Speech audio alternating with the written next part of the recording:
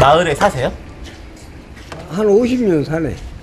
50년이요? 어, 뭐 요 경로당 회장이고. 아 회장님이세요? 음. 여기가 어르신 3.1운동 발원지라 그러던데 아, 3.1 운동, 운동을 할 때 수표가, 수표 여고가 있었거든. 네. 그래가지고 학생들이 운동을 할 때 수표에서 발상기가 돼가지고 그래서 출발해갖고 이 골목에서 여기서 집결 장소가 있어. 광주에서 근대 문물을 가장 먼저 받아들인 양림동. 선교사가 세운 수피아 여학교 학생들이 1919년 광주 3.1 만세 운동을 주도했는데요. 일제의 유혈 진압에도 불구하고 끝까지 이어진 만세 운동. 양림동에선 매 3월 1일 만세 운동 재현 행사를 가지며 역사의 참 의미를 되새겨 봅니다. 나라를 빼앗겼던 잊을 수 없는 지난날 일제 강점기 시리도록 아픈 역사의 흔적은 골목 곳곳에 남아 있습니다. 1920년대 독립운동가 최상현에 의해 지어진 가옥 19세기와 20세기를 거치며 달라진 이 한옥에는 놀라운 비밀 공간이 숨어 있습니다.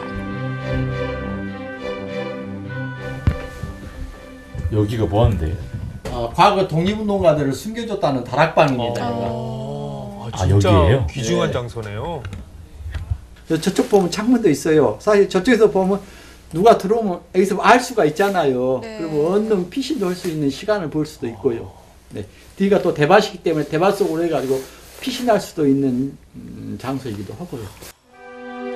친일 파들이 자주 방문하던 곳으로 위장하기 위해 일부러 큰 잔치를 벌이기도 했다는데요. 시대의 비극 앞에 꽃피는 봄을 그렸을 독립운동가들. 추위에도 결코 지는 법 없는 매화처럼 인고의 시간들을 견뎌냈습니다.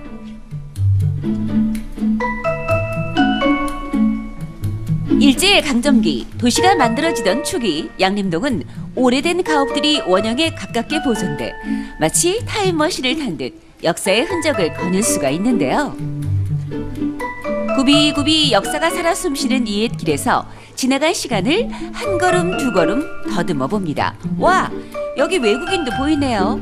Welcome to 양림동. 광주에서 가장 광주답고 어떻게 보면 광주의 이런 역사 어, 이런 것들을 잘 보여줄 수 있는 곳이 아마도 이쪽 양림동이 아닌가 싶어서 예, 데리고 왔습니다.